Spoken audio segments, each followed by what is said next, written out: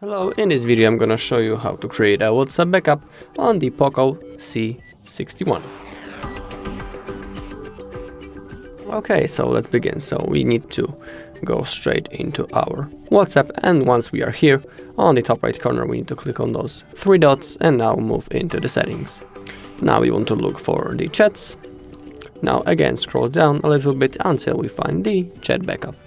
And once we are here, under the Google account, we need to simply select the proper Google account because on this specific one, the backup will be made. So if you selected the account, please make sure that you won't forget the password. Otherwise, you won't be able to restore it back in the future. Also, if you don't have your account that you're interested in here, simply click on Add Account. Okay, I need to verify first. Okay. And in here, in the email or phone, just simply type your email number. And if you don't have your Google account, simply click on create right in here.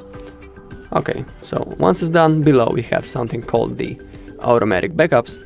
Defaultly it will be set on off but you can pick between the daily, weekly, monthly or only when I tap backup.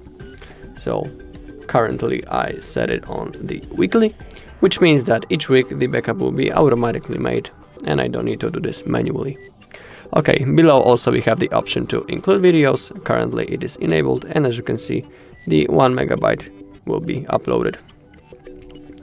Okay, also on the bottom we have the end-to-end -end encrypted backup, which is basically a unique password that you can create right in here and you will need that password to restore your backup in the future. So if you choose to create it, please don't forget it. Otherwise you won't be able to restore. Okay, so once everything is done and selected, let's simply click on this green button, backup. Okay, so as you can see the process is started. And that's all. Once it's done, you can exit your app. And that's the whole process. So thank you all for watching this video. If you find this video helpful, please leave a like, comment and subscribe.